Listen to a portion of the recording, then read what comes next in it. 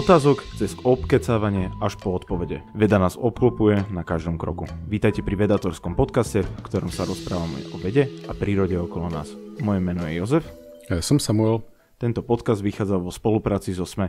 Samko, vítaj pri um, polovično jubilejnom čísle a fakt dobrých otázok a peťke, a, kde sa rozprávame o otázkach, ktoré nám posielajú naši veľmi milí poslucháči. A veľmi zvedaví.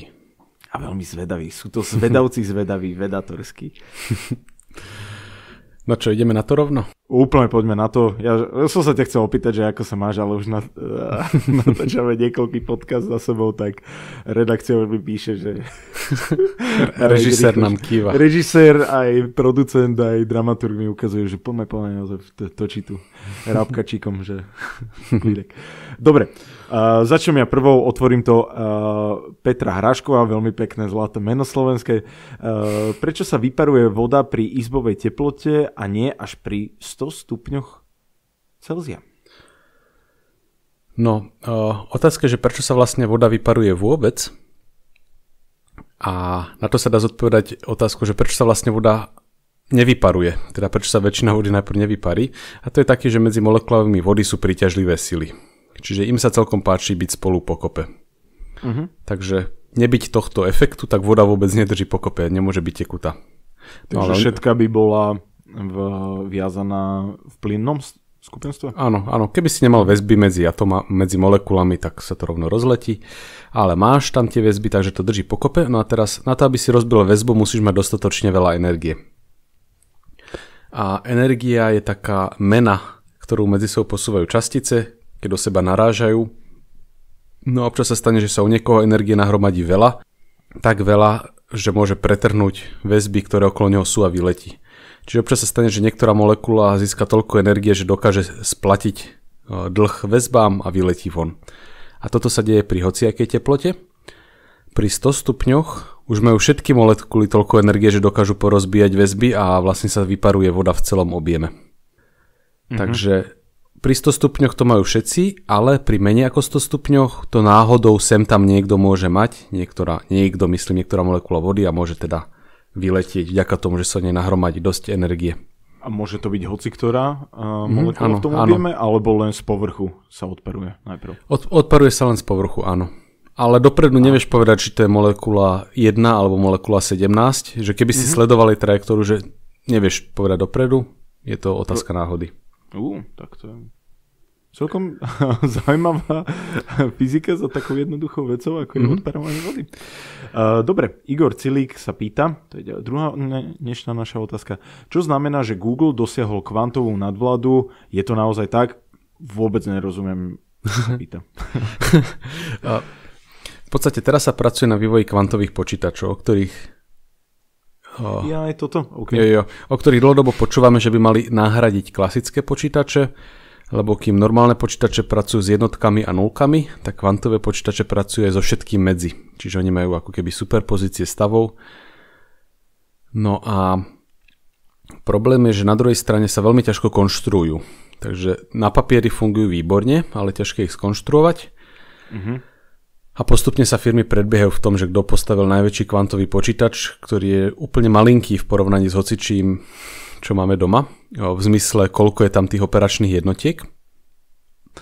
No a ako kvantová nadvláda sa označuje pojem, keď dokáže zostrieť kvantový počítač, ktorý je výkonnejší ako normálny počítač. Normálny počítač asi sa berie nejaký priemer? Hej, že zober, zo, hej, zoberieš napríklad noťaz, na ktorom máš a spustíš na ňom program, ktorý má vyriešiť akú úlohu. Porovnáš to, koľko táto úloha trvala k kvantovému počítaču. A ukázalo sa, že je taká úloha, ktorú ten uh, googlovský, super, ten googlovský kvantový počítač zvládol rýchlejšie ako taký ten uh, benchmarkový počítač, ktorý používali na porovnanie. Ale potom sa ukázalo, že vlastne nie úplne, lebo tá úloha sa dá lepšie vyriešiť na tých normálnych počítačoch. Čiže ja by som povedal, že kvantovú nadvládu ešte nedosiahol, aj keď... S týmito kvantovými počítačmi je to skoro vždy taká správa, že podarilo sa nám toto, ale hej, je, to, hej. je to vždy veľké ale.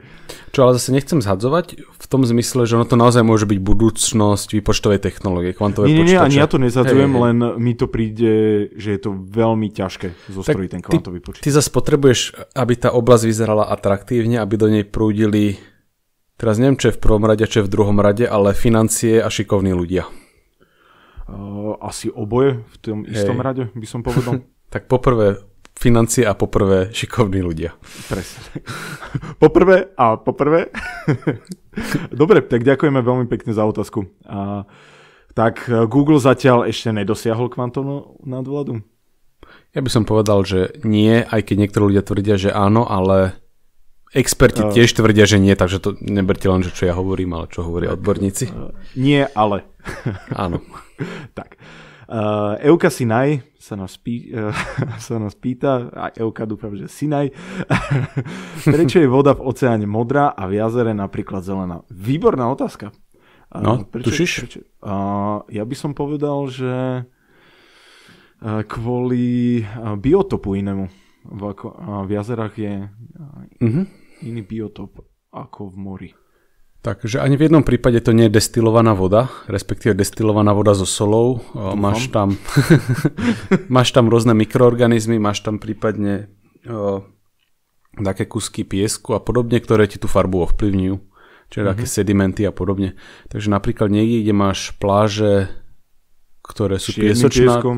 hej, no, alebo, alebo len piesočnaté, tak tam býva často menej priezračná voda ako inde. Čiže je to kvôli tomu, že vlastne morská voda nie je len voda a sol, ale aj kopa iných vecí, ktoré tú farbu ovplyvňujú. Mhm. A v jazerách je zase iné. A ani nechceš vedieť, čo všetko je. Áno, čo všetko. Uh, uh, som si spomenul. Barzeké sienice a podobne. Hej. Jo, jo, jo. Dobre, uh, štvrtá otázka. Uh, Pastierovič, To je dobré meno na túto otázku. hej, budete preferovať meso vyrobené v labakoch? No, Neviem sa k tomu vyjadriť, nakoľko vôbec neviem. Mm, Ja som taký človek, že musím mať overenú vec mm-hmm. predtým, ako ju využívam. A to meso v labakoch je podľa mňa ešte veľmi ďaleko od toho, aby bolo nejako masovo produkované. A Mesovo. hlavne mesovo produkované a aby sme ho jedli mm, dennodenne. Vieš čo, v tomto sa možno milíš, lebo pozeral som, že cena burgeru vyrobeného v labáku bola pár rokov dozadu na úrovni, neviem, či desiatok tisíc alebo stoviek tisíc a teraz je na úrovni okolo 100 alebo pár sto dolárov. Takže... To, toto, toto ja nehovorím. eh, Že Lenže keď túto, cene- krivku, keď túto krivku potiahneš, tak to čo skoro bude dostupné a Nie, nie, nie, ja nehovorím o tej, aj keď to bude dostupné, len že či, je to, či to bude pre nás také isté, Mhm. mm-hmm. uh, zdravotne, uh, nezavadné, ako je normálne meso. Tiež Mhm. teraz by niekto mohol openovať, e, normálne meso nie je zdravotne nezavadné. Dobre, ale akože, vieš, hej, hej, že, jasné. Hej, rozumiem. U mňa je zase odpoveď taká, že sa tomu nebraním, vyskúšam, ale vo všeobecnosti sa snažím aj tak mesa dávať mesa jesť čo najmenej a mať to ako takú špecialitku, čiže už zďaleka A- nedáva meso každý deň alebo ani Jo, každý toto- druhý deň. To, toto je tiež aj uh, tá vec, že tie sa snažím obmedzovať meso, takže skorej budem znižovať ten príjem, ako nachádzať nové formy. Tak. Ale ja vyskúšam a som zvedavý. Ale Určite nedoká- tiež nedokážem povedať, že to budem preferovať, lebo zase neviem, na, čo by som sa upísal. Takisto ako som veľmi rád vyskúšal Beyond Meat, uh, vegánsku náhradu mesa a Mhm. mm-hmm. uh, veľmi rád si ju aj dávam. Keď je dostupná, tak uh, keď bude toto v poriadku, tak myslím si. Ja som toto chcel ochutnať, keď som bol v Glasgowe. Tam robili také, také burgery, že sú vraj na nerozlíšenie, ale neviem, prečo som si vtedy namiesto toho objednal taký, také, takéto kanadské kuracie jedlo, ktoré mi vôbec nechutilo a doteraz to lutujem. Akože jedno z najhorších rozhodnutí Aha. posledných Ja mojich som to mal rokov. v Kanade, keď som bol vo Vancouveri a akože normálny burger. By, kebyže sa nad tým nezamýšľam, tak neviem povedať, že je to rozdiel. Nice. Dobre, poďme na ďalšiu otázku. Tuto môžeš asi prečítať ty. Jo, no, to s menom sa To potrápim. je päť- Stano päťka. Kotia. Nech Scouter povie niečo o sebe, keďže Samuel o sebe hovoril už v iných projektoch. Tak povedz niečo o sebe. Uh, som muž, 31 ročný. tak povedz niečo, napríklad o tebe ľudia nevedia, aký si veľký milovník anime a celkovo Japonska, tak môžeš o tom niečo priblížiť. Uh, ja uh, asi to nevedia, hej, asi to nevedia. Veľmi mám rád anime uh, a celkovo Japonsko a je to môj sen tam možno raz žiť, žiť ale nie pracovať. Lebo Japonci nemajú moc dobrú pracovnú morálku. Akože pracujú moc veľa? morálku alebo... majú silnú, ale nie takú, ako by som ja chcel. a môžem tam prejsť taký, budeš taký európsky závan. a, akože čítal som na ekonomiste, jeden čas bol odliv z japonských firiem do zahraničných firiem, ktoré pre, prešli takým boomom, lebo veľmi veľa ľudí chcelo pracovať tam, že japonské firmy, ja neviem, mali 10, to, to si vymýšľam to číslo, ale že 10 uh, životopisov na jednu pozíciu a s vedením, ktoré malo zahraničné, tak mali vyše, myslím, že 500 alebo 600. Čiže ľuďom sa nechce pracovať pod japonskými štandardami, tak? Áno, áno. E, tam sú hlavne tie sociálne mm-hmm. štandardy veľmi zlé podľa mňa, lebo musíš byť v práci, aj keď nemáš čo robiť. E, pra, práca aké by bola súčasťou teba. A ty by si tam donesol vymysly ako víno o 5 v práci alebo o 4. Určite, určite. Akože to... Siesty. Alebo že si odskočím k lekárovi na obed. To, a tak. A, a strašne mám rád japonskú kuchyňu. A celkovo azijskú. Tri obľúbené japonské jedla a tri obľúbené anime. Uh, cukamen. A to, to je jak ramen, len polievka je oddelená od všetkého a je viacej husta.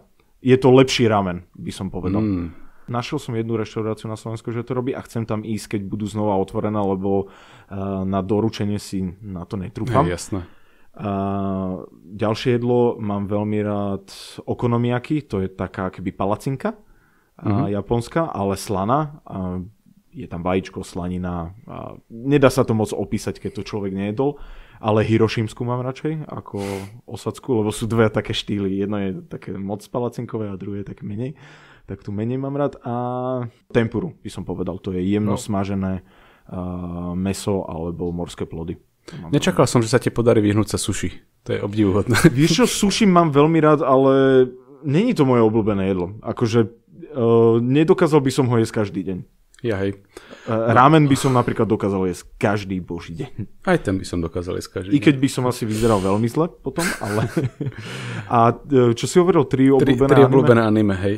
Uh, teraz poz, uh, akože nemám nejak, Death Note, uh, Great Pretender sa mi veľmi páči a Kimi no Nava, What is your name, uh, ten film.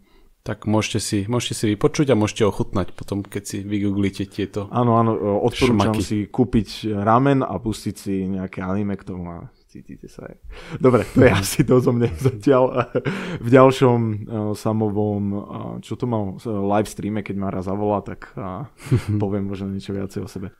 3週間先まで犯罪者は死んでいくようにデスノートには記してあるが。Dobre, na šesku ideme. Phil Noc, uh, čo je podľa vás okrem IT najdôležitejšie povolanie budúcnosti? No, čo je podľa teba? Podľa mňa veľmi sa zvýši mm, dopyt po lekároch, po špecializovaných lekároch, po ľuďoch, čo robia s stravovaním a výživou a po vedeckých pracovníkoch ako virológovia a laboratórni technici, by som povedal. A genetici ešte možno? A gene, do, to som do toho chcel, len to je obrov, že koľko ich je. No. A ja by som k tomuto ináč úplne bez problémov pridal povolanie učiteľa, lebo teraz sa nám ukazuje, že aké brutálne problémy spôsobuje to, že ľudia neúplne riadne rozumujú biológii, matematike a podobne. Mm-hmm. Ale to už je podľa mňa problém teraz. No jasné, že je a štáty, ktoré na tomto budú lepšie, budú mať brutálnu výhodu v budúcnosti. Tie, ktorí budú mať dobrých učiteľov a dobré školstvo v dobrom stave. Uh, sedmička Kevin. Aký má uh, COVID vplyv na napredovanie ve- vedy a výskumu? Uh, mysl- ja si myslím, že veľmi dobrý, čo sa týka virológie a skúmanie uh, vakcinológie a týchto vedných odborov. Hej, akože v tomto je to dobré, že aj celkovo ľuďom ukázalo, že veda je dôležitá, ale prakticky ako robenie vedy, mne to dosť komplikovalo život tým, že sa všetko musí riešiť online. Veci, nad ktoré by sme si kedysi sadli k tabuli a poriešili sme ich za jedno po obede, tak sa teraz cez maily ťahajú na dva týždne.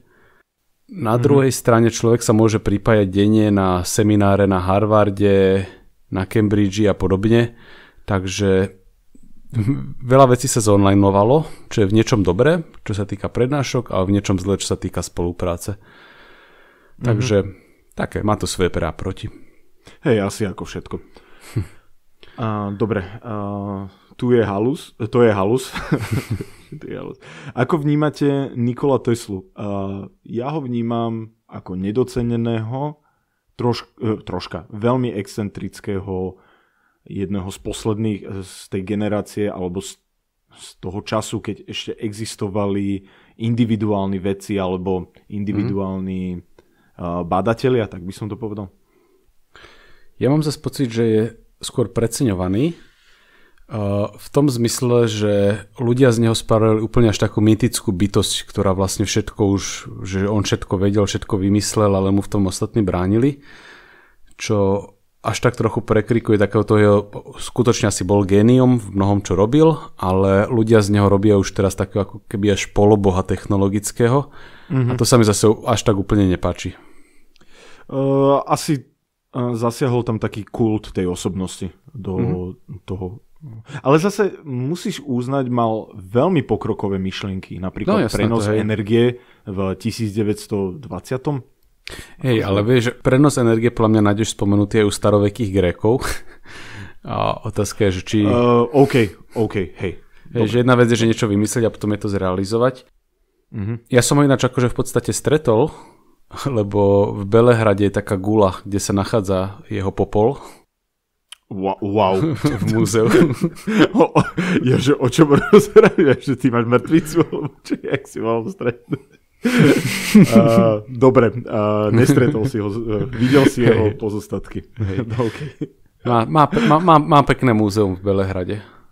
Hej, uh, Čím chcú asi Srby počiarknúť, že to nebol Chorvát. A typujem, že niekde v Chorvátsku bude taký... Jej, toto ani nezačínajme. Hey, hey, hey. Toto v rece ani neotvárame. Pandorína skrinka. Dobre, môžeme ísť na ďalšiu? Jo. Dobre. Jozef, dá sa odobrať vzorka čiernej diery zvonku? Podľa mňa nie, samo. Podľa mňa tiež nie. Lebo čierna diera je v skutočnosti tá singularita vo vnútri, v strede. Uh-huh. A niekoľko kilometrov až miliónov kilometrov od tohto stredu sa nachádza tá hranica horizont udalosti, spod ktorej sa nedá uniknúť. No, Čiže ak by som aj došiel k tej hranici a začali lopatovať, tak to je vlastne prázdny priestor a tá hmota sa nachádza až v tej oblasti, z ktorej sa nedá uniknúť. Aha, jasne. Takže...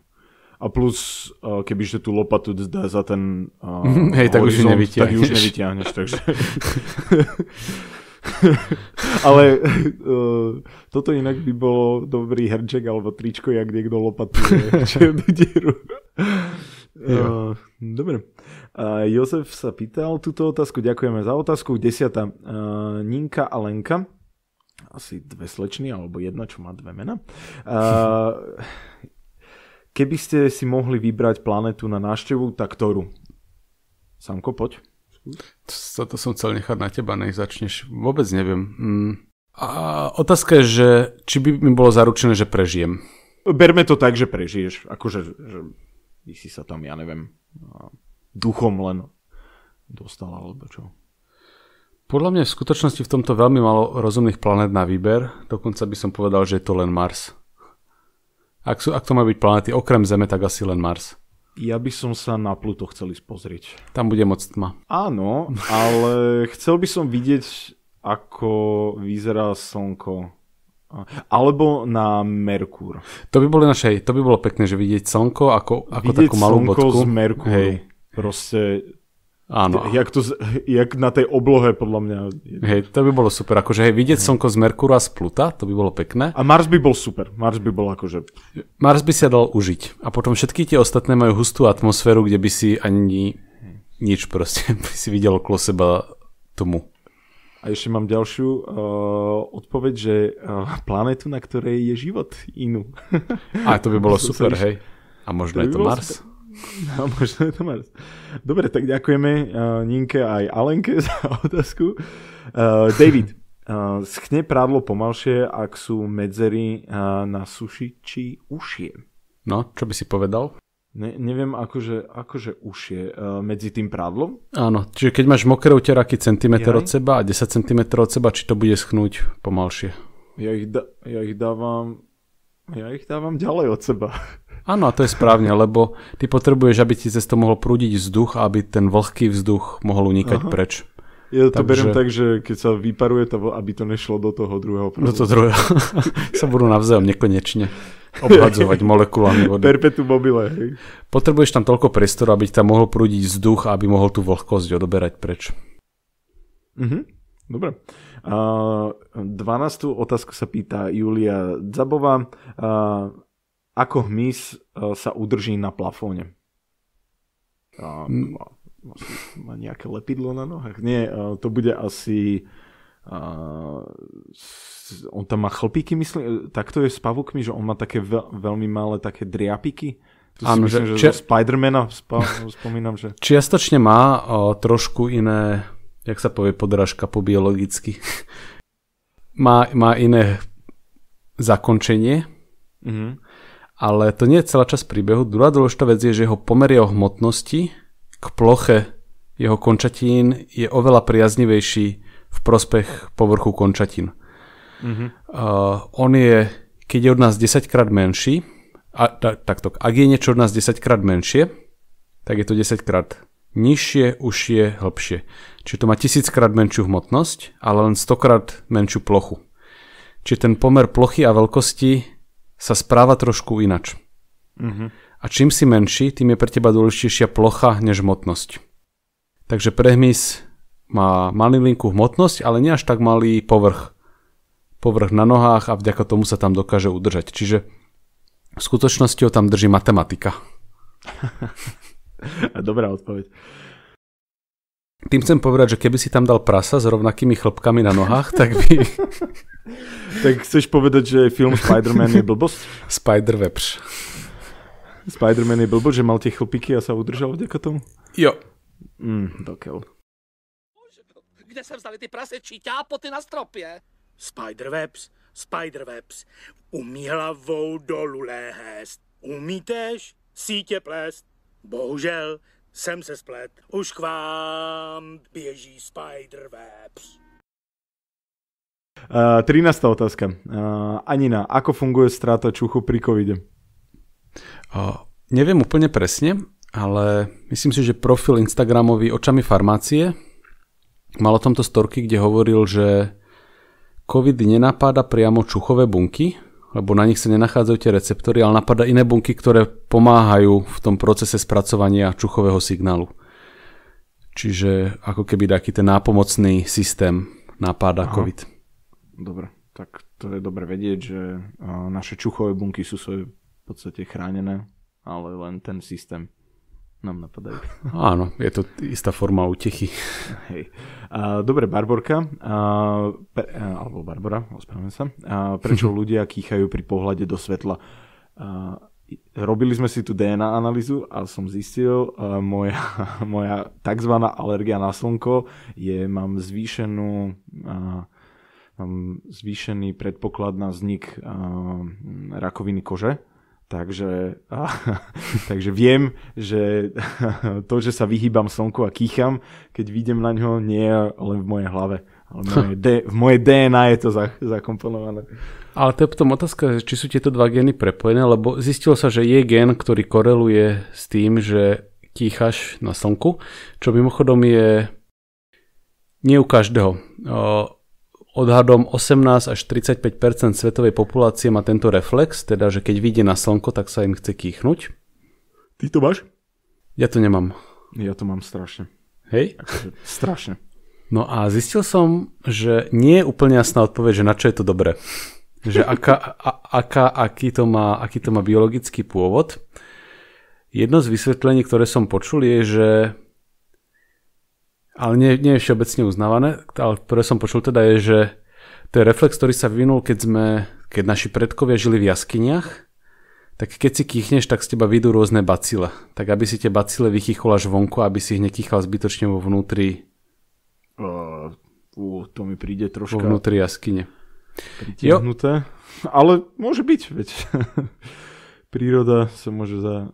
Áno, ale čo, ako som hľadal, tak som hľadal, nenašiel som úplne jednoznačné vysvetlenie, s ktorým by sa všetci zhodovali. Čiže Tak, keď niekto vie jednoznačné eh, vysvetlenie, určite nám napíšte na e-mail alebo na, na Instagram alebo na Facebooku. Sa potešíme. jo, a ešte akože jedna možnosť je, ktorá sa hovorí, že je to vlastne o, taký omyl medzi nervami. Že niekde je to trošku dopletené a že ten signál, ktorý vychádza asi z očí, tak sa popletie a prejde do takej inej nervovej sústavy, ktorá má na starosti kýchaň.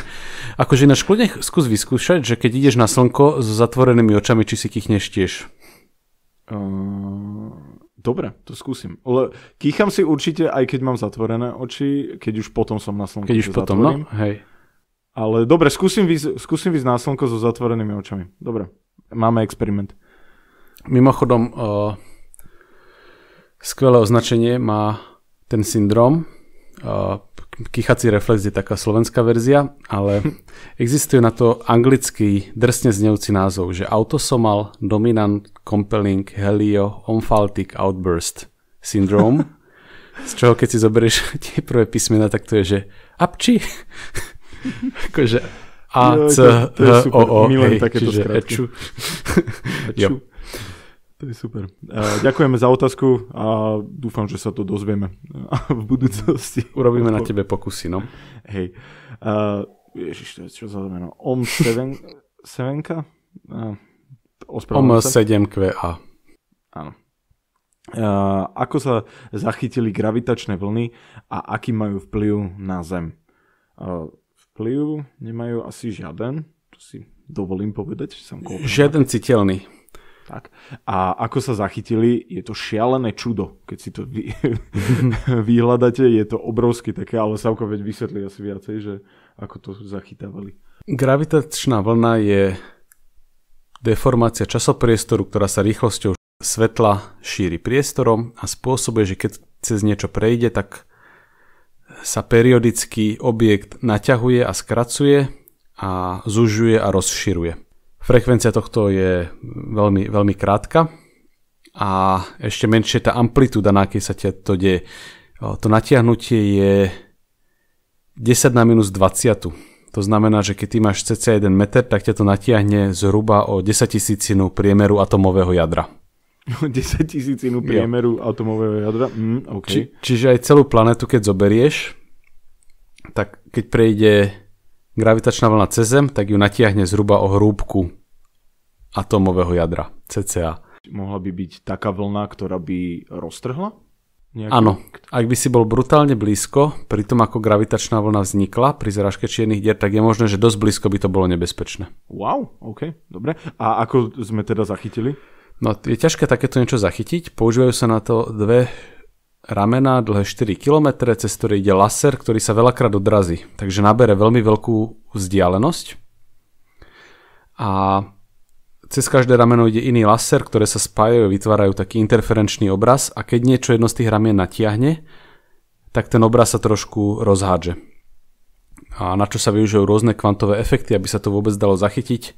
Takže kombináciou laserov, kvantovej fyziky a 4-kilometrových ramien sa predsa len takýto slabočký efekt dá zachytiť. 4-kilometrové rameno. Wow.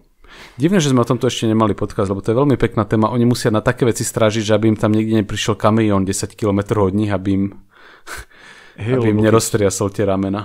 keď sa jedná o desatinu hrúbky atomového jadra, tak Hej. Ale oni toto na schvál robia, že v ľavom hornom a pravom dolnom rohu Ameriky, čiže juho, východ a severozápad a skúmajú len tie otrasy, ktoré nastali na oboch naraz. Alebo prakticky naraz. spoja asi tie výstupy a pozerajú, Áno, že áno. ktoré A sú- pozrieť, že toto bol kamión, toto si Milan ešte kýchol. možno ďalšia otázka je, uh, že sú časté tieto gravitačné vlny, že prechádzajú cez nás často? Mm, áno, ich sa darí zachytiť. Typol by som, že radovo to vychádza tak jedna mesačne, alebo radovo jedna za pár mesiacov. Ale to sú len tie, čo vieme zachytiť. Donedávna sme nevedeli o ničom, teraz o tom vieme pomerne pravidelne. A je možné, že ak by sme mali ešte lepší detektor, tak zistíme, že oni vlastne prechádzajú prakticky non-stop. Mhm. Takže tam zase ide o citlivosť tých prístrojov, ktoré máme na zaznamenávanie. Tak, presne tak. Mhm. Dobre, tak ďakujem veľmi pekne za otázku. Uh, OM7QA. Uh, Štefovský sa pýta, ospravedlňujem, tak toto tu mám napísané, uh, odkiaľ doplňa Slnko helium a vodík? Uh, slnko nedoplňa od nikadeľ helium a vodík. O, Jo. Ono ho má od začiatku. Ako sa sformovalo? Ono ho má a postupne mu ubúda. A keď mu ho ubudne dosť, tak slnko sa prepne do iného režimu, v ktorom postupne zanikne. Mhm. Takže slnko bude existovať... Všetci zhoríme. A všetci zhoríme, jo. No nie, lebo už tu nebudeme. Nastane to zhruba o 5 miliard rokov, slnku začne dochádzať palivo, veľmi sa nafúkne. Odhaduje sa, že zhruba po vzdialenosť, ako je akurát Zem. Mhm. Takže ty, keď si chcel vedieť, ako vyzerá slnko z povrchu Merkúru, Tak stačí len pár miliard rokov počkať. hej, cca 5 to vychádza podľa výpočtov a No, tak to je pohodička. potom sa začne míňať. Mimochodom platí, že čím je hviezda väčšia, tak tým rýchlejšie spaluje svoje zásoby, takže preto veľmi veľké hviezdy žijú relatívne krátko. Mhm. Že uh, te, tie procesy prebiehajú rýchlejšie. Tak. Čím je ťažšie. Hm? Dobre, tak dúfam, že sme odpovedali na otázku. Keď nie, tak treba sa pýtať ďalšiu doplňujúcu. Lukáš, ak platí E sa rovná MC na druhu, prečo nerobíme energiu z hliny? No, lebo na to, aby si využil vzorec S rovná MC na druhu, potrebuješ, aby tá hmotnosť zmizla. Jedna možnosť, ako spôsobíš, že tá hmota zmizne, je, že spojíš 1 kg hliny s 1 kg antihliny, čiže hliny z antihmoty, vtedy sa tá hmota navzájom vyruší a ostane ti čistá energia. Ale vo všeobecnosti platí, že to, že sa niekde nachádza energia, ešte neznamená, že tú energiu dokáže z toho získať. Potrebuješ, aby tá vec mohla byť v inom stave s menšou energiou, do ktorého jej pomôžeš sa dostať. Napríklad, keď hodíš polienko do krbu, tak to polienko obsahuje, obsahuje karbohydráty, čiže zlúčeniny vodíka a uhlíka, ale oni same o sebe nič nerobia. Musíš ich prinútiť, aby sa dostali do iného chemického stavu, kde majú nižšiu energiu a ten energetický rozdiel vieš získať. Mhm. Takže aj keď chceš získať energiu z hmotnosti hliny, tak tej hline musíš dať ako možnosť, ako sa dostane do stavu s nižšou energiou, teda s menšou hmotnosťou, čo pri hline je zložité. Pri väčšine atómov je zložité ich dostať do stavu s menšou hmotnosťou. Jedinou výnimkou sú radioaktívne atómy. To sú také, ktoré majú k dispozícii radioaktívne premeny, ktoré ich dostanú do stavu s nižšou hmotnosťou, napríklad budú mať menej neutrónov alebo protónov. A vtedy ten rozdiel vieš získať pomocou rozdiel získať e, pomocou vzorca S rovná MC na druh, že klesne ich hmotnosť a ten rozdiel získaš ako energiu. Ale to je len vďaka tomu, že sú radioaktívne. Áno, ale to, že radioaktívne, tým vlastne chceme povedať, že existuje stav, do ktorého sa oni vedia jednoducho dostať a ten stav má nižšiu hmotnosť a tým pádom aj prebytočnú energiu. Mhm. Dobre, ďakujeme veľmi pekne za otázku. Dúfam, že Sanko ju vysvetlil. Ja som to tiež nevedel, takže super. Uh, 18. Matej. Uh, dala by sa atomovkou vytvoriť čierna diera? to by pripomína uh, zo Simpsonovcov. Uh, ten uh, Nelson mal, že uh, nuke the wells, uh, vy, vybombíte alebo vy, vy atomov kujte uh, veľryby a sa ho pýtala Líza, že tomu, vie, uh, tomu veríš? A že no, niečo sa musí vyatomovkovať. a ona, že asi hej. Takže... Uh, no, Atomovkou sa asi nedá vytvoriť, lebo čierna diera vzniká, že je na mie- nejakom mieste veľa hmoty a tá... Áno, ale v podstate existujú, že o, veľmi malé a tým pádom nízkoenergetické čierne diery, ale na to, aby si ich vytvoril, potrebuješ nahromadiť dostatok hmoty do, malého, do malej oblasti a to ani atomovka nedokáže. Mhm. Atomovka to nedokáže, CERN. o, CERN to nedokáže, ak neplatia také veci, ktoré tušíme, že možno by mohli platiť o našej fyzike a o našom vesmíre, že má veľa extra skrytých rozmerov. Ak by mal náš vesmír veľa priestorových rozmerov, ktoré sú skryté, tak potom by to nebolo vylúčené a potom by to možno dokázala aj tá atomovka. Lebo oni pomenia pravidlá hry tie extra rozmery. Ale veľmi sa v toto neverí, že by to bolo reálne. Takže Dobre. odpoveď Tak je taká, že atomovku na vytvorenie čiernych dier. ani na nič iné. Ani na nič iné. Možno tie veľryby. Nesrandujem. Veľryby sú super. Nehačte bomby na veľryby. Dobre, 19. Uh, Matias uh, Pipkenzi. OK. Uh, aké slovenské podcasty počúvate? Uh, Samko, poď. Môžeme na preskačku hovoriť. No, tak začnem prvým. Tak ja ti asi možno vyfúknem. Dobré ráno.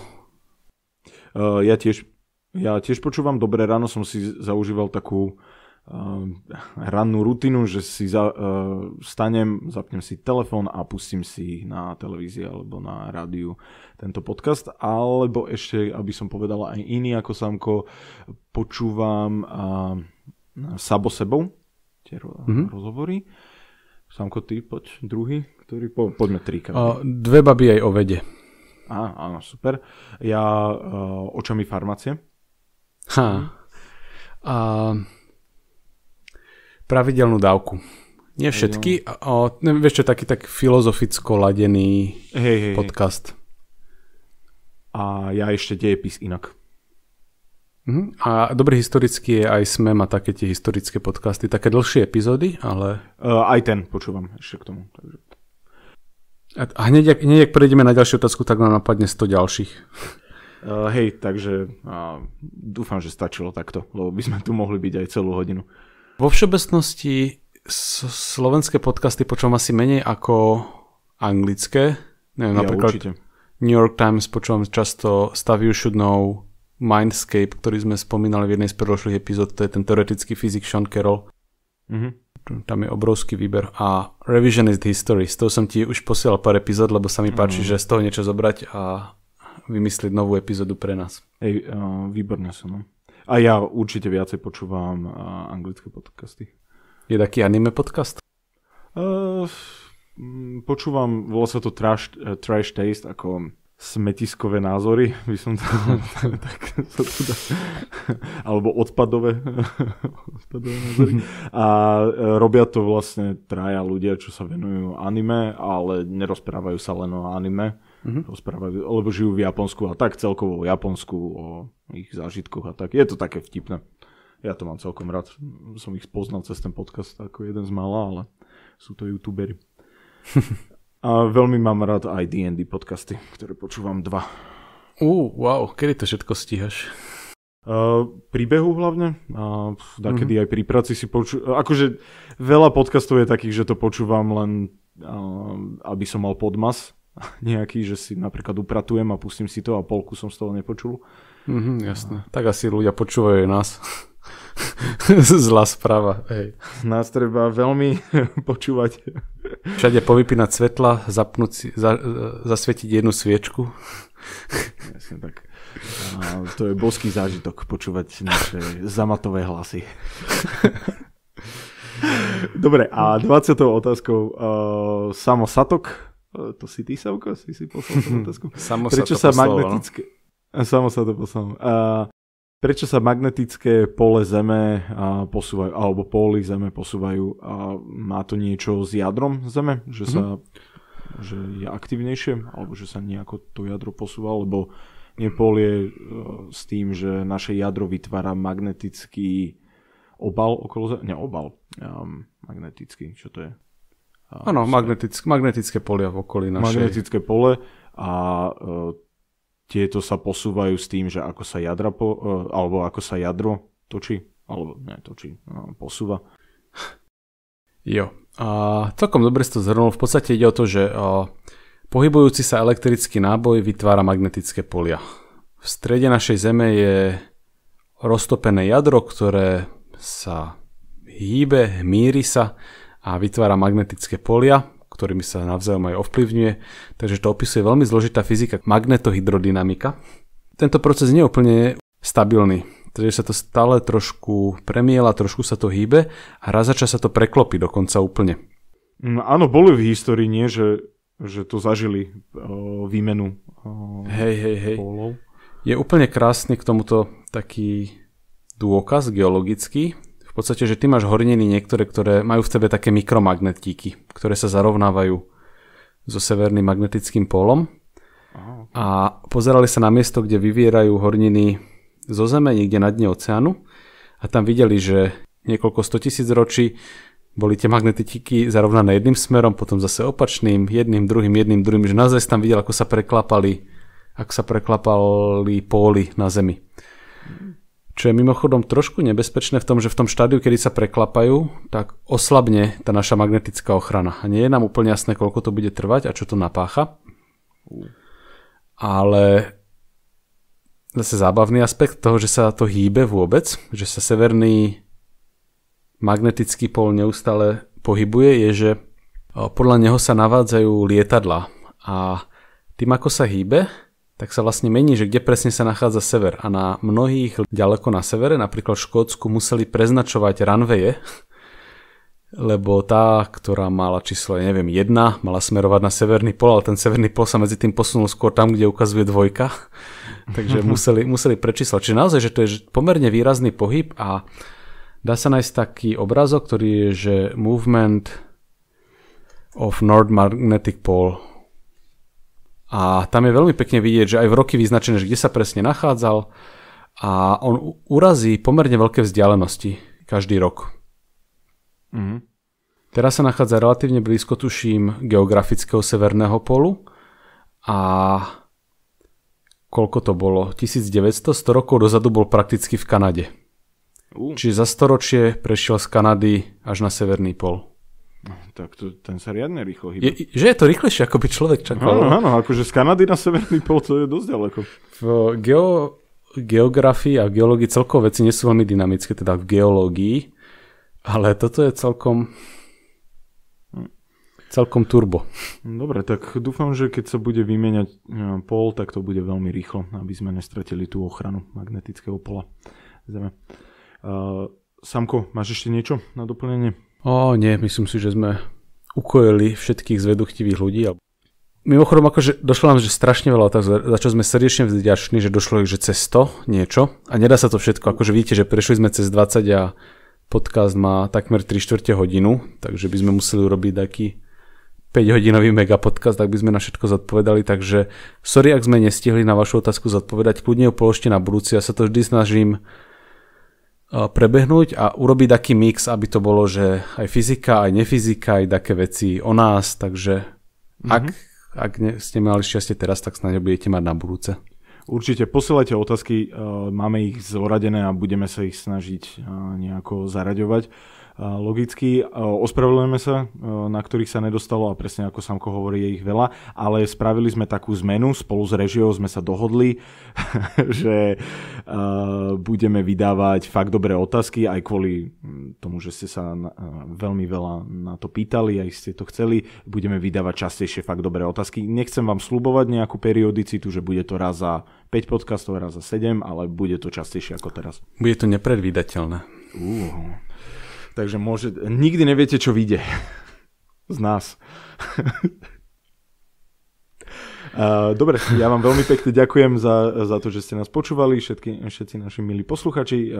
Ďakujem všetkým, ktorí ste nám poslali otázky. Ďakujem všetkým, ktorí nás podporujete na Patreone a tí, čo nás nepodporujete, tak na čo ešte čakáte? Stačí pár klikov a môžete nás podporovať. Ďakujem všetkým, ktorí si kúpili hrnčeky a tí, čo neviete, máme super hrnčeky, objednajte si, káva z nich chutí výborne a čaj ešte lepšie.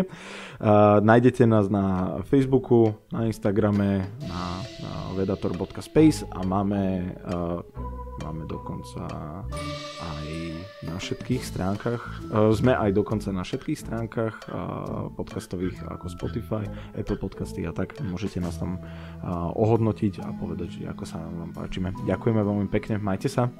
Majte sa pekne.